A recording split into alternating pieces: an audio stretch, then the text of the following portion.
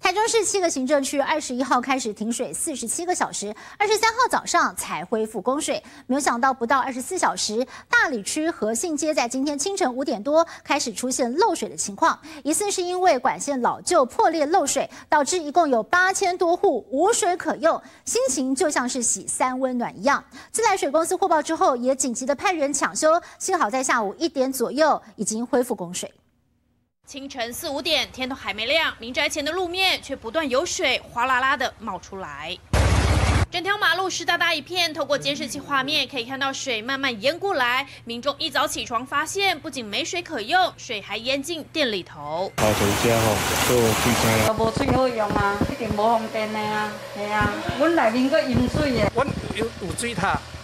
啊，你那波追塔了，真的会影响。民众抱怨连连，事后自来水公司接获通报，也紧急派人到场开挖进行抢修，发现原来是管线太过老旧。管子是啊，民国八十三年埋设的。今天早上在五点四十五，将近六点的时候接到里长的通知，在九点啊就已经开始在开挖了，十三点的时候都已经修妥完毕了。那影响的户数大概是八千户。现在各地水情拉警报，水资源相当的珍贵。二十一号因为管线工程。台中市七大行政区才大停水四十七小时，二十三号早上恢复供水，不到二十四小时，大理区又发生爆水管，八千多户的居民受影响，心情像在洗三温暖一样。幸好水公司只花了半天时间就紧急修复，恢复正常供水。谢讲陈世杰台中报道。